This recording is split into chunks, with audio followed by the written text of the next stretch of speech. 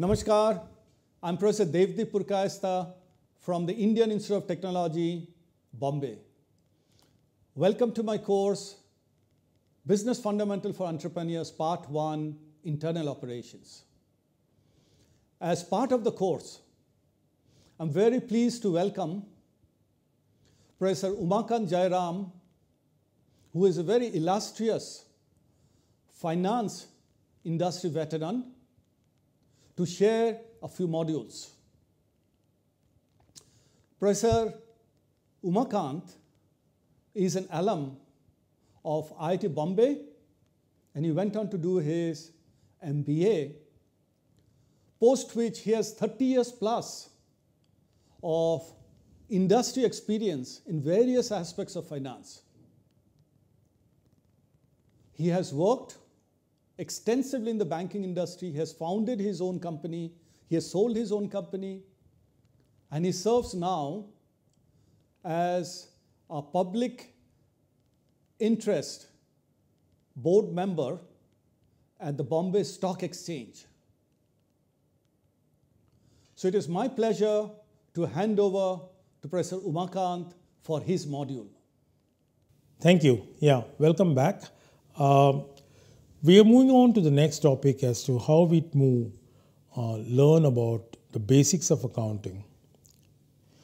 Having understood the reason why accounting and finance uh, plays a role which is very significant in business, and having understood uh, the problems and issues that are typical uh, to a finance and accounting view of a business, we are now setting about a journey of at least familiarizing ourselves with the basics of accounting. Let's suppose that you are a tech founder and you have been focusing on your product development and client sales function in order to get your business off the ground. And you've done a wonderful job. Your startup is successful and you made your first sales. In all the nine to 10 months of your journey so far, assuming that it took you 10 months to do this, you left all money matters to an accountant. He started looking at all the things that needs to be done in terms of maintaining the books of accounts and giving you reports. He comes to you at the time in which you are actually doing reasonably well and he shows you a periodic statement such as the one in the right. He says that it's a trial balance worksheet. And he wants you to learn and to understand what this trial balance really is. Let's now start from ground zero and look at this report. What does it say? At the top, it says the general ledger account balances, by which you have two statements here. You have a general ledger what is a general ledger, and what are account balances. The account balances seem to be of two types. One is what is known as debits, and one is what is known as credits. And then you have different kinds of descriptions here, some of which you may even be familiar with, such as investments or taxes or credit card payables. That's the kind of amount that you need to pay the credit card company, or common stock, that being the investment in the company, or revenues, what the business earns, or salaries. So, some of this you're familiar with, some of them you're not familiar with. But the good thing is, you see them a good a tally, you know, you see the whole list of debits, the whole list of credits, and when you add them up, they seem to be totaling up to the same level. So here's how we break this down. Let's go one by one to understand what these elements mean in the statement. When is the statement prepared? What is the statement trying to tell you? And why is it prepared? In order to understand that, we'll have to go back to the basics again. And let me just bear with me to, to give you what are the 101 of accounts. We'll start off with what is known as the ledger. A ledger is a book of record. It is where you actually record all transactions happening in the business. The records are kept in T account form, where each of T account has got two different headings, one being debit and one being credit.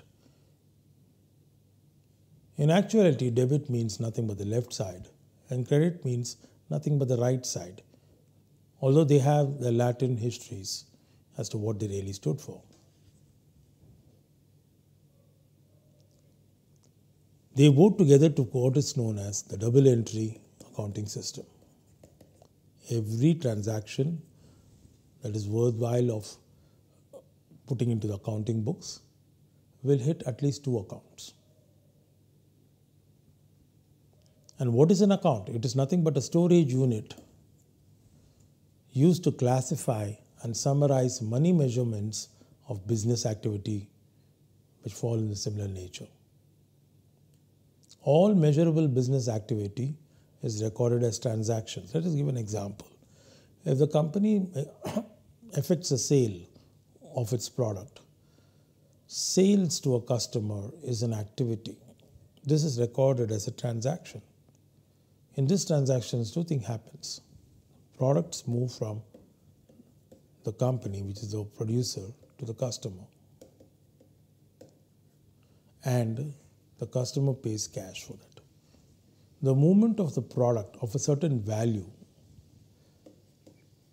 to the customer is recorded in the value term, which is a measure, and the movement of cash, which has its own value, of course, is goes to the company.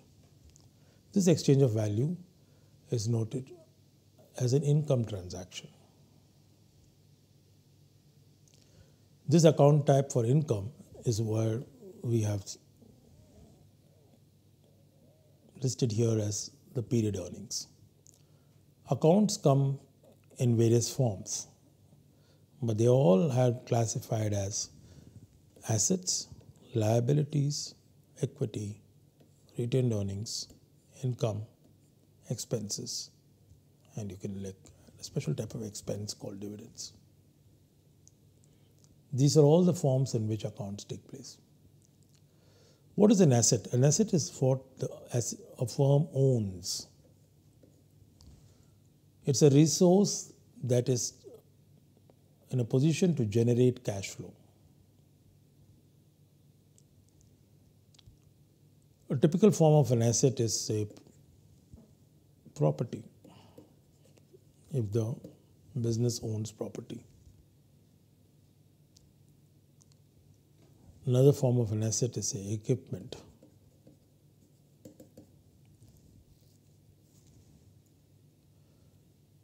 Liability is what a firm owes to others. This arises from obligations that the firm has to the people it takes resources from. Owner's equity is nothing but the contribution of cash capital into the business. Income and expenses are intuitive, they mean just what they say. It is what the company earns from sales, and expenses are what the company spends. And finally, dividends is a particular form of distribution of profits, which is the difference between income and expenses to the stockholders. These are the various forms of account types. Remember, revenues, expenses, and dividends are all having a particular characteristic. They are flow accounts, in that they are temporary in nature. Their balances are accumulated for a period, usually for three months, or for a month, or for any period you want to set up and after that period they are actually closed out. They move in as retained earnings into a stock account. Difference between revenues and expenses is income and we'll see how that happens. Everything in the balance sheet are stock accounts.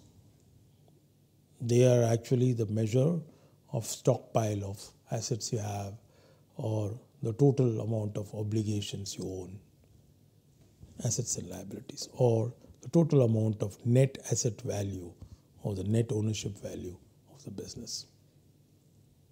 The principal and only equation that is to be known and which follows logic is this accounting equation where assets will always be equal to the liabilities plus equity.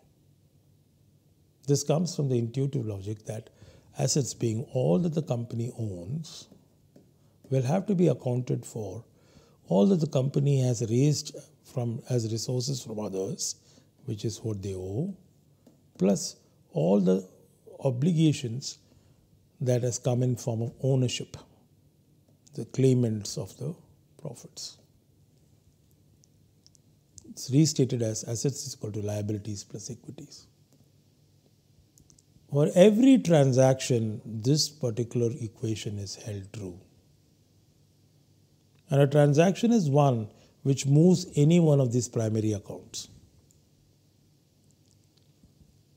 When I do a record a transaction for something that you do in business, usually the recording process is called a journal entry and a subsequent posting to a pre-identified T account, a ledger account. Let's take an example. if you a company has purchased some raw materials in order to process them and make finished goods, this purchase is made from a vendor. So the purchase order has been made to the vendor. The vendor ships those goods, and as the ships the goods have been shipped and reaches the customer premises, his customer premises, which is the firm's premises, the purchase order has to be affected by its contract into a payment obligation, which is a liability, or an actual payment, which is a cash transfer. When you record this transaction, you actually affect the liabilities accounts because the firm is recognizing a new liability. And you also affect an asset account because the firm is getting into its possession raw material assets. Because the raw material assets have increased and moved the asset levels high, such an inset increase is recorded as a debit by this recording convention. All increases to assets are recorded as debits. So we debit raw material assets. And all liabilities which increase are recorded as credits. And we credit accounts payable. The same value. So the value say 100 rupees of as raw materials, then this is the transaction which is posted and so on and so forth. Many, many such transactions. They go through the rules and conventions of increase in um, assets as a debit, increase in liabilities as a credit, increase in equity as a credit, decrease is obviously the other way around. These are all the postings that happen through evidences which are invoices or you know in in form of vouchers. After these postings are done and they are posted into pre-designated accounts, all of the AL, OR, IE, IE type of accounts. And this listing is exactly what you saw as a trial balance. So we'll go back to our previous, this is what you saw as a trial balance.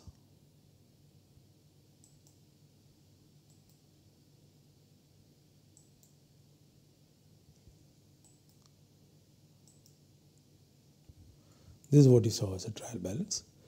Here you can see that all these assets are stock, stock accounts or balance sheet accounts in the form of assets.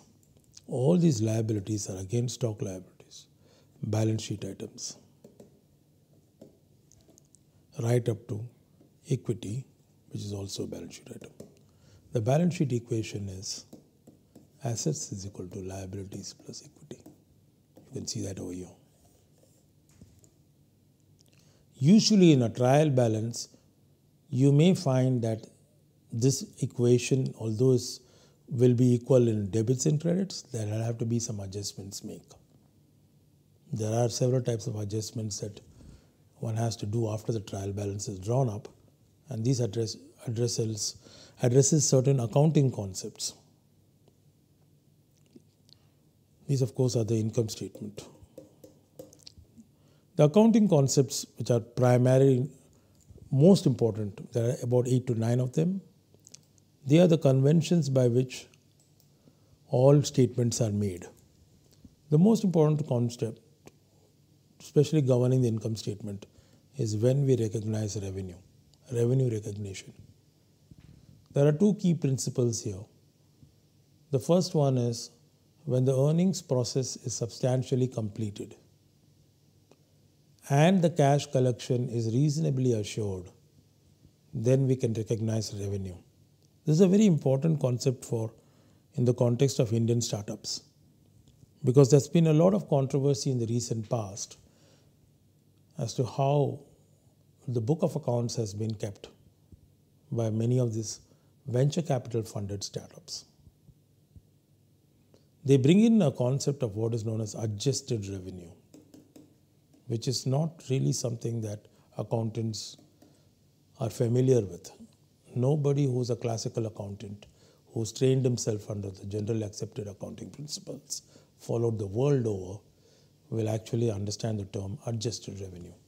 But this is specifically an economic concept that startups companies normally use to build a narrative that they are actually moving towards a path to and progressing towards profitability. The second concept in income statement preparation is the matching concept. All the income that is generated in a particular period has to have only the matched expenses for that period to actually come out with what is known as the revenue for that period. An example would be if you had actually made an expenditure in the last month of the financial year for an insurance contract that is going to be valid for the business for 12 months, then the matching principle would say that you should only take that portion of that expense which is matching towards that period in which the income statement is prepared for the year as the expense level. If it is the last month, then it means that only one twelfth of that expense should be taken as an expense not the whole expense. This is how the matching principle works. Why does it work that way? Because we want to give a true and fair picture of how the period performance of the business has been. That's the basic objective of the income statement. There are many more such conventions which are generally going, they go together to compile what are known as GAAP principles. These are the principles that are agreed by accountants and are actually placed in the law of the land by way of the accounting convention passed through uh, an act in the parliament. The job of an auditor was actually a statutory person run by a statute to actually oversee all of these transactions, whether it has been diligent and whether it has uh, been maintained uh, in a diligent manner and is accurate and is complete, is done by an independent audit firm, which is also called as a public accountant firm. The differences that the public accountant will have with the individual accountants of the firm will have to be sorted out, lest such gaps will have to be notified to the shareholders in a report which is called the auditor's report in the form of qualifications or emphasis of matters. The other statement, which is the balance sheet, is nothing but a restatement of this principal statement of assets equal to liabilities plus equity. It gives you that picture of what a company is ending up as a statement of position in terms of the resources owned by the firm, the form of assets put to use or investments, and the financing of those assets and investments through obligations such as liabilities and the remaining through equity. These are the only three major, two major statements that are prepared by, by accountants. But there is one other statement which is very, very useful again to shareholders as well as to managers, and that is the statement of cash flows. Let's look at all these three statements one by one. The income statement is a very familiar term. Most people actually are intuitively aware what it does. It starts off with what is known as what the firm earnings has been or the firm sales has been, revenues in terms of sales of products and services. The matching amount of expenses, matched expenses, which are directly contributed towards the manufacturing of the products which are which are sold or the services that is sold goes into cost of sales. If it is a physical good, we normally use a term called cost of goods sold. These are direct inputs, direct cost, directly attributed into the manufacturing system. Plus inventory changes. Inventory is nothing but the stock of raw materials, work in process, and finished goods. And how these inventories changed over the year. Is the end of that year minus the beginning of the year. And this inventory changes, they go towards cost of goods sold.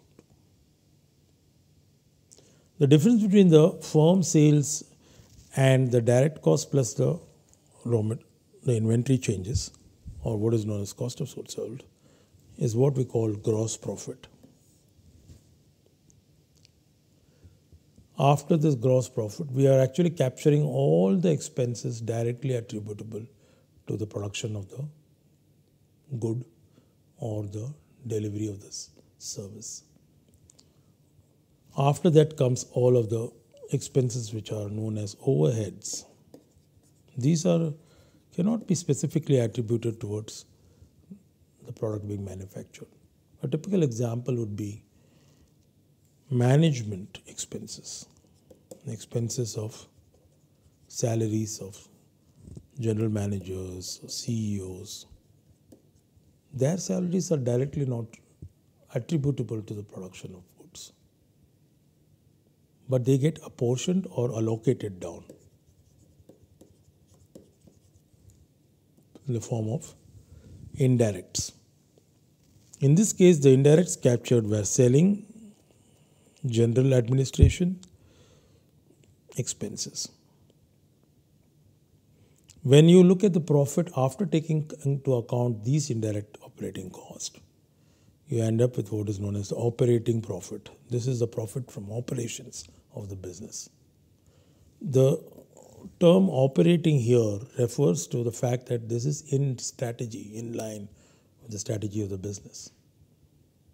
The question then will be Are there non operating profits? Yes, there are. You can make profits by selling off some of the equipment that you don't no longer require.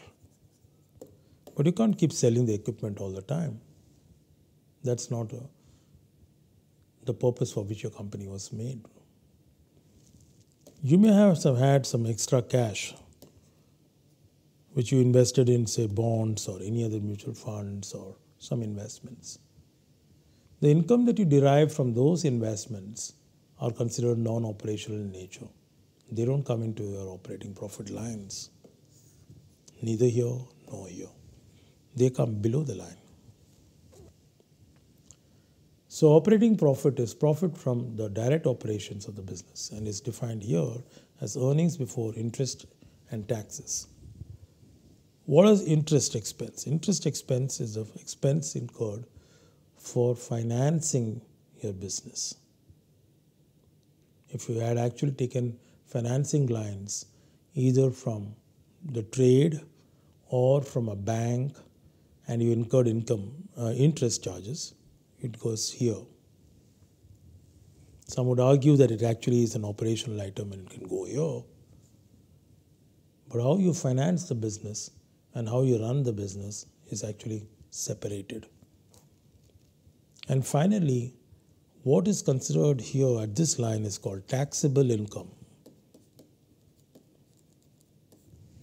And they are actually shown to the tax authorities and you pay tax for them.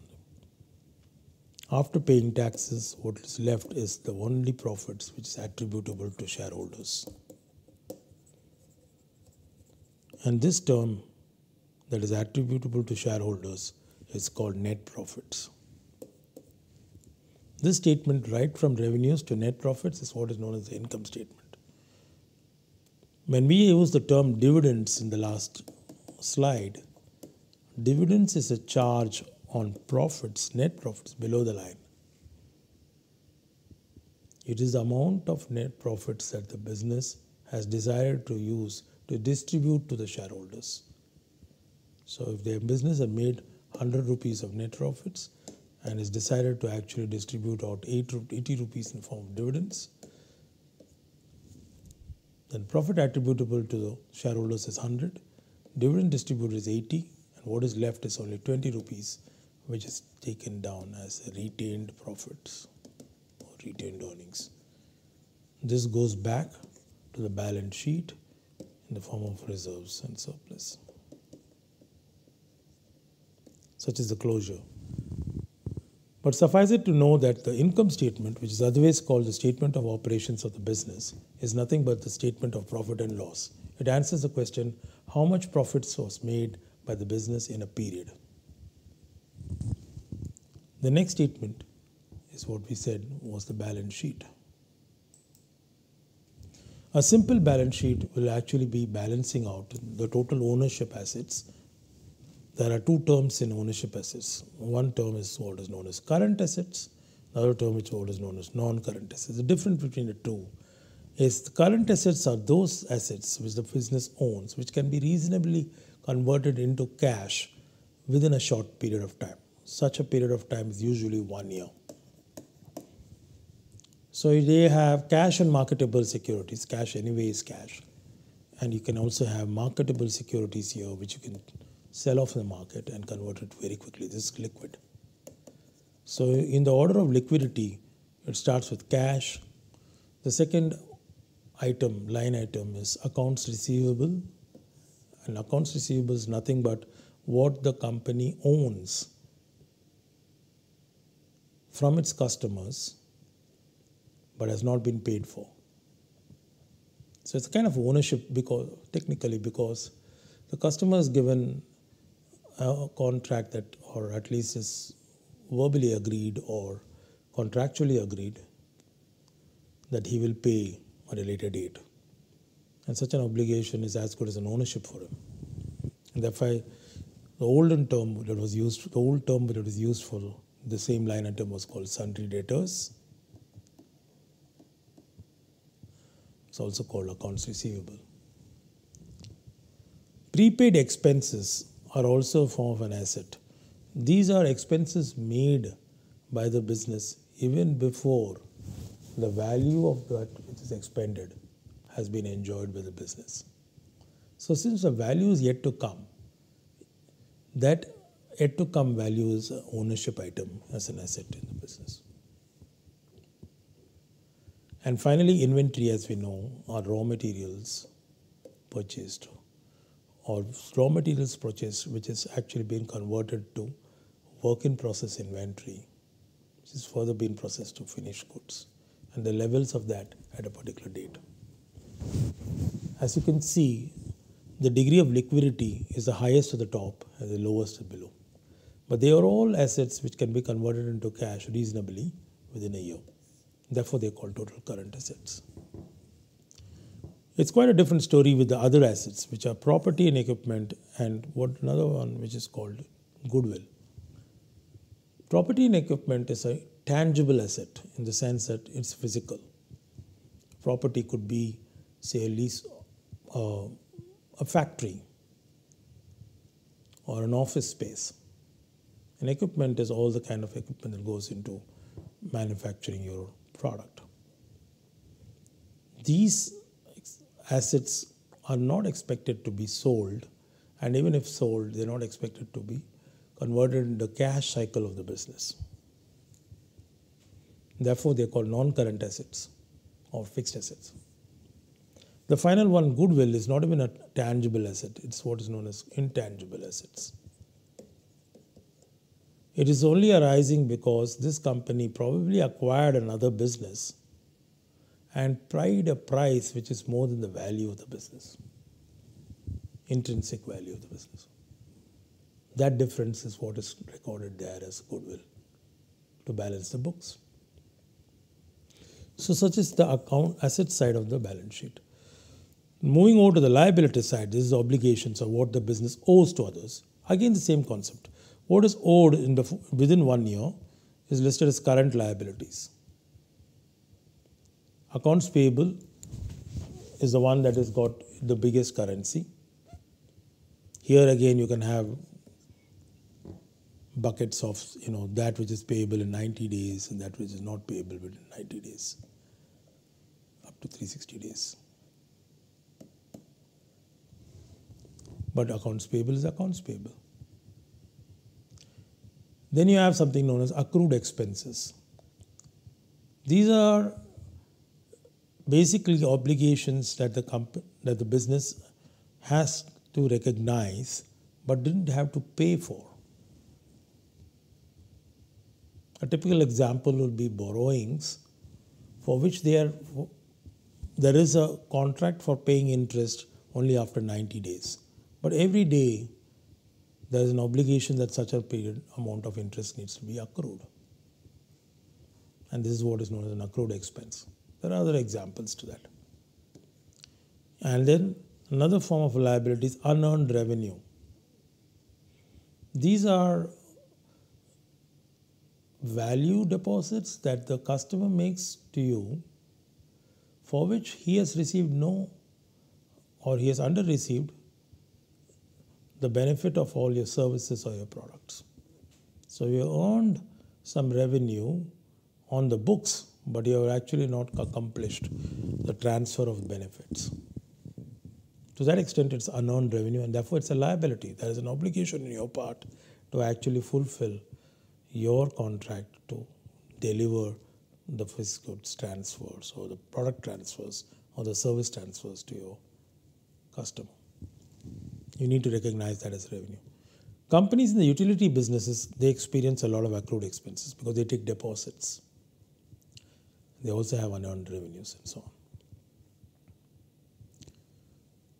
On the other hand, you also have liabilities which are beyond a year, which beyond long-term debt, debt in which you take five-year debt or three-year debt. This is going beyond a year. And there are other long-term liabilities such as guarantees that can be for more than five years and so on, which are converted into loans. The one has hit it on these guarantees, and the guarantee is now converted to a loan. And there are other long term liabilities which are more than one year.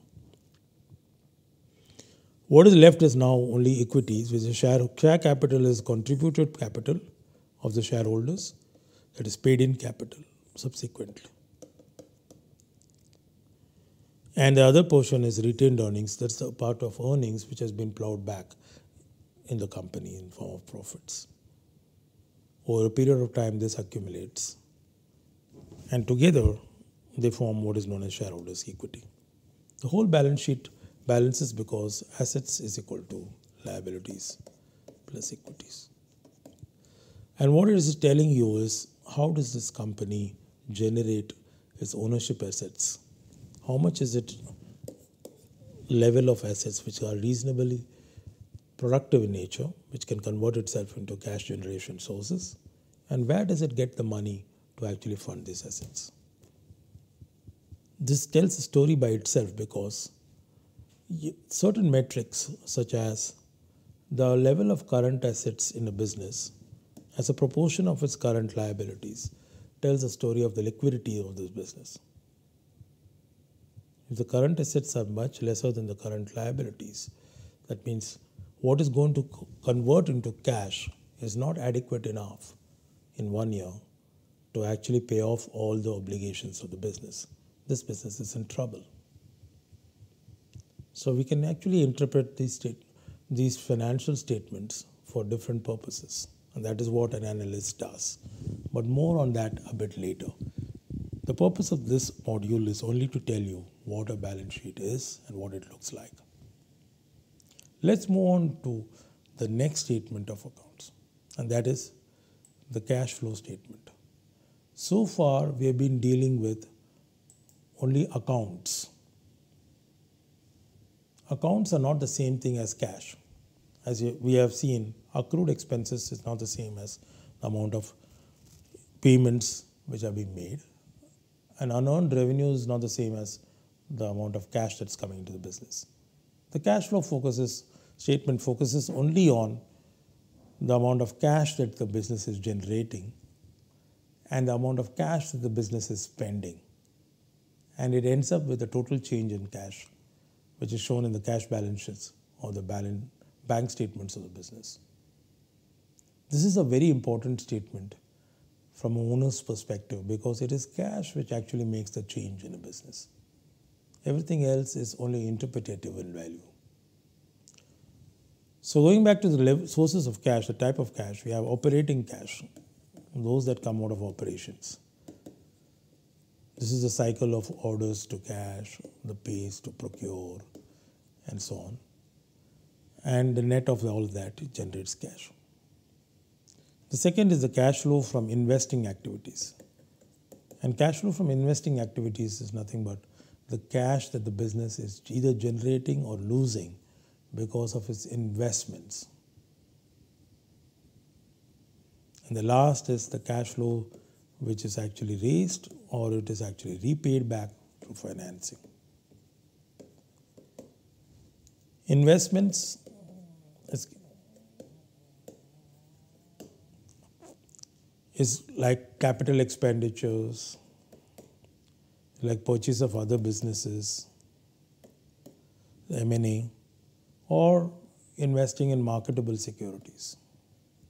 All of these three options go into either generation or the dilution of cash. Operating cash flow is nothing but net income, which is revenues minus expenses, minus tax and minus depreciation. Depreciation is a concept which is uh, to be explained here a little bit. It is nothing but a notional charge that the business incurs every year.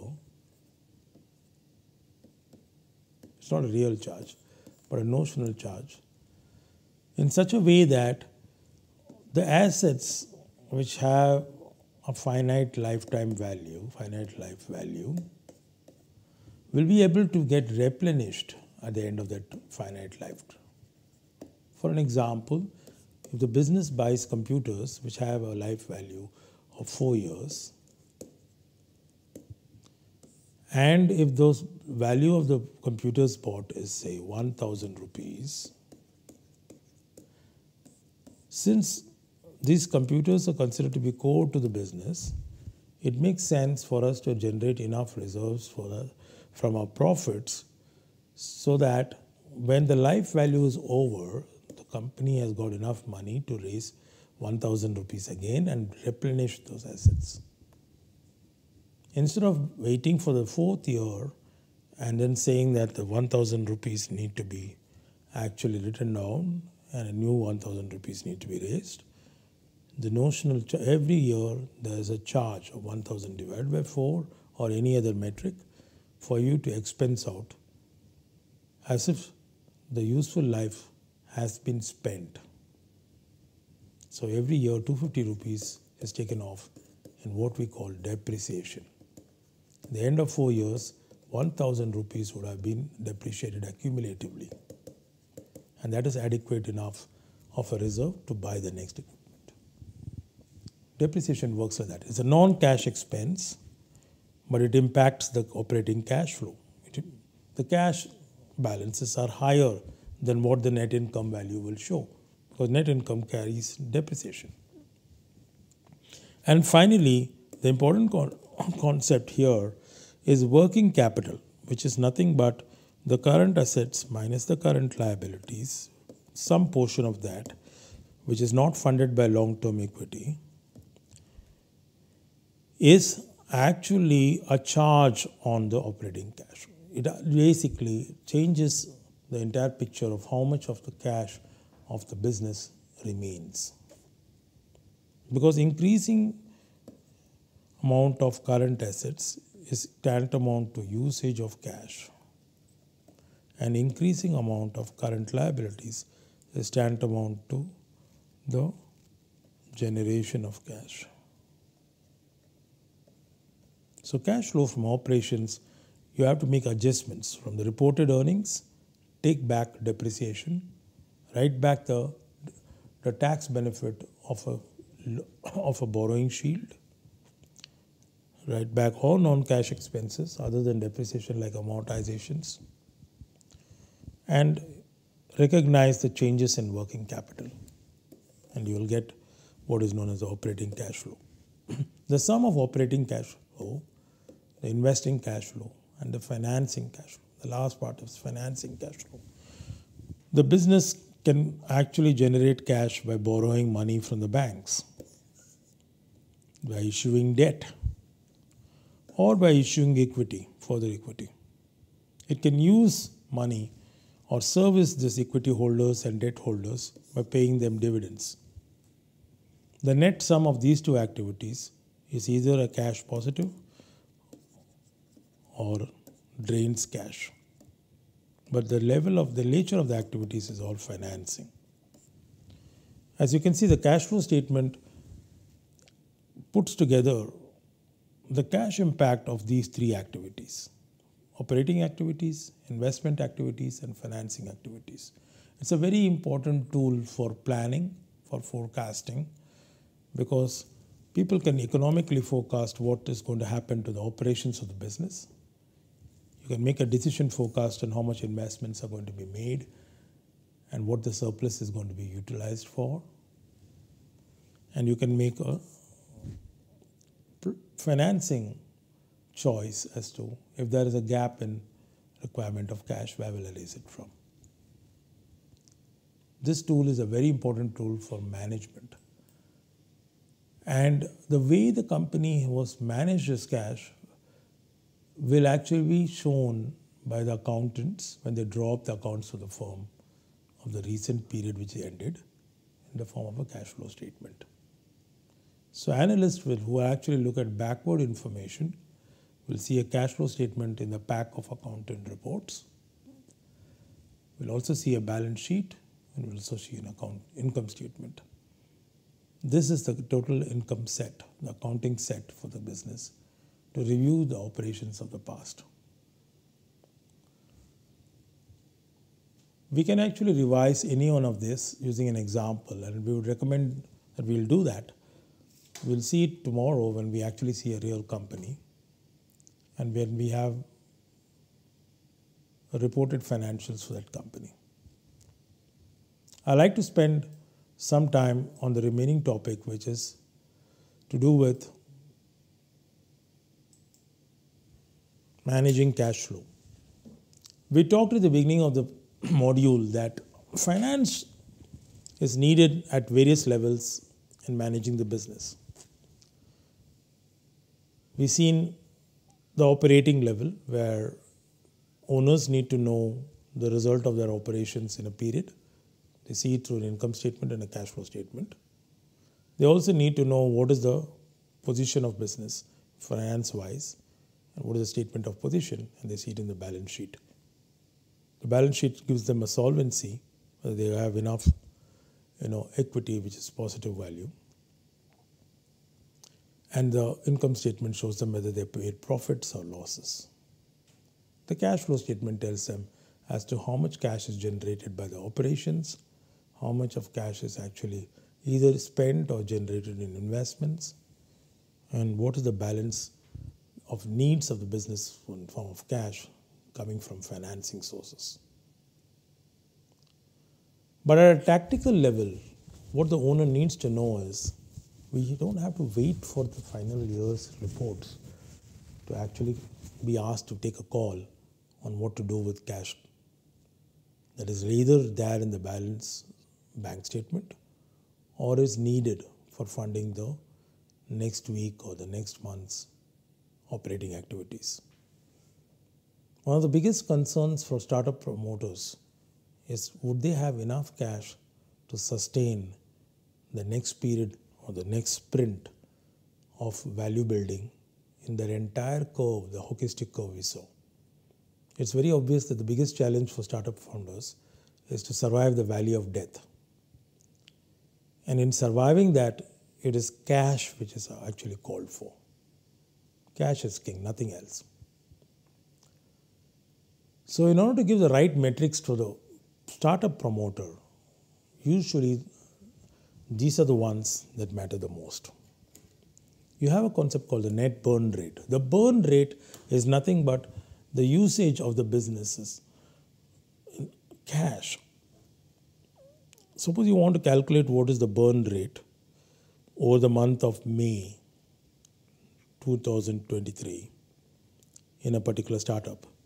All you have to look at is what is the starting balance in May, what is the closing balance of May.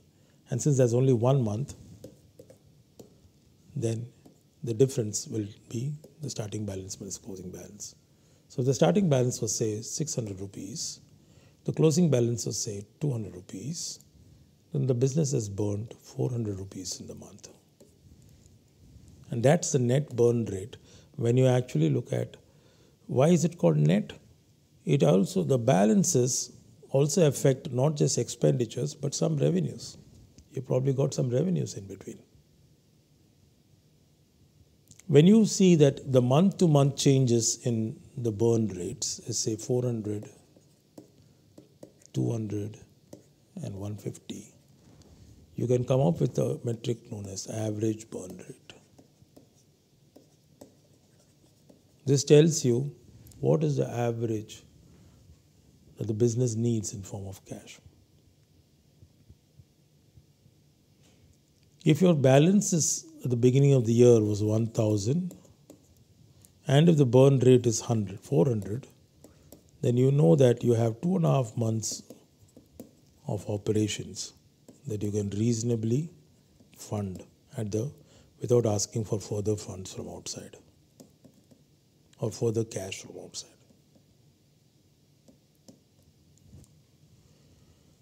and this metric is called days cash on hand I've actually calculated months cash on hand, but it's the same concept.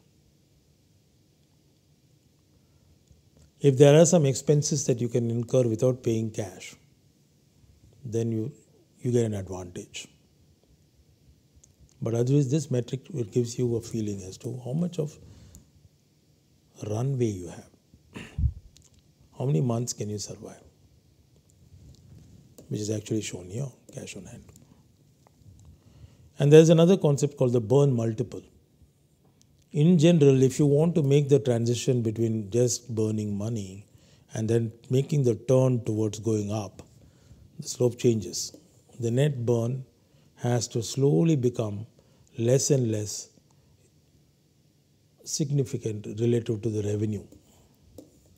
New revenue that is coming in should be more and more thick and the net burn as a proportion of that should become smaller and smaller. If this happens, then you're in a better position to turn around.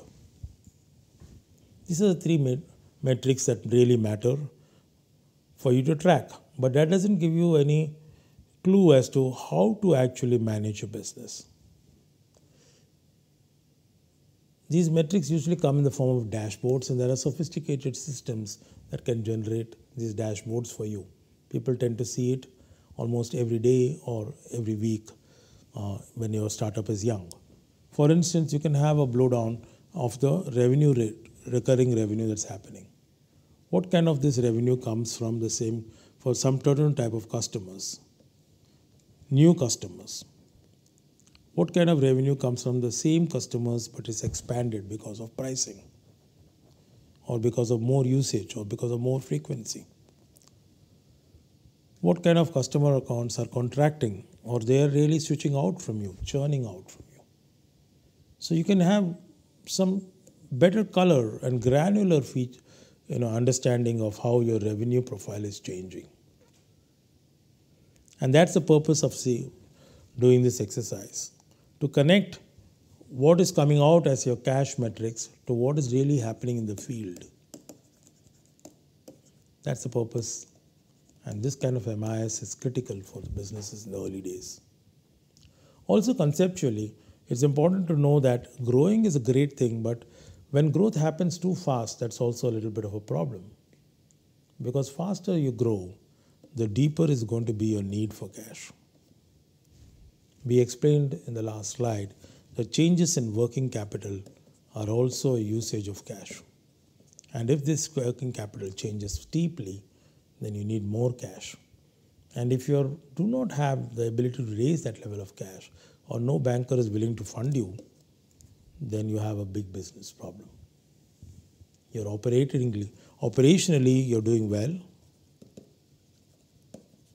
There's a good acceptance for your products, but financially, you have to slow down.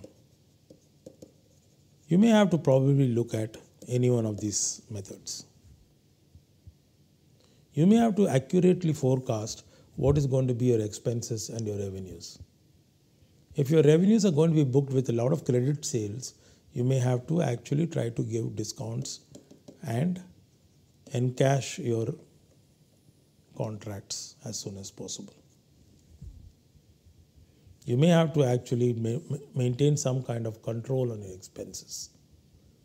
Only fund what is very critical for a direct line of business. You may have to look at your order to cash and procure to pay cycles very closely.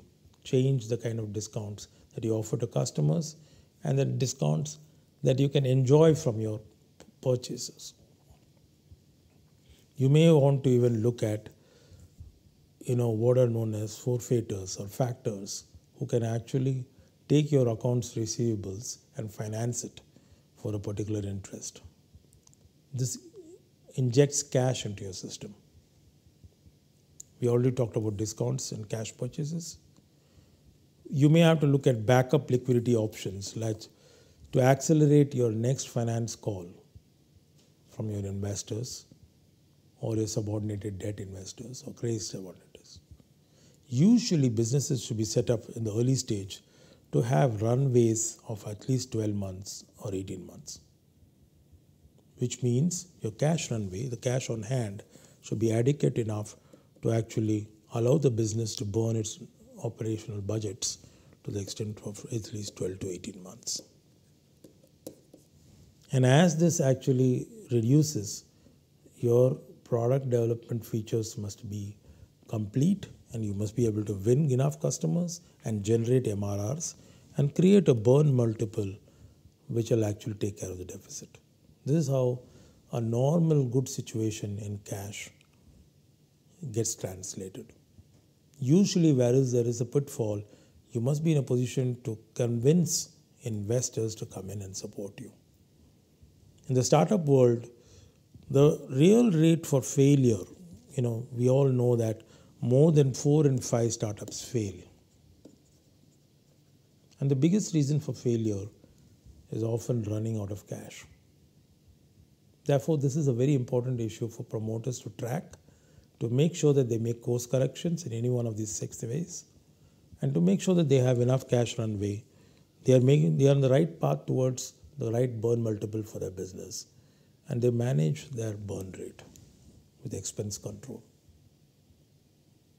I shall end my module for literacy and financial statements over here. When we come back, we shall see very closely how MIS and accounting can play a role in building a business model for your business. Thank you very much for being with us and see you soon.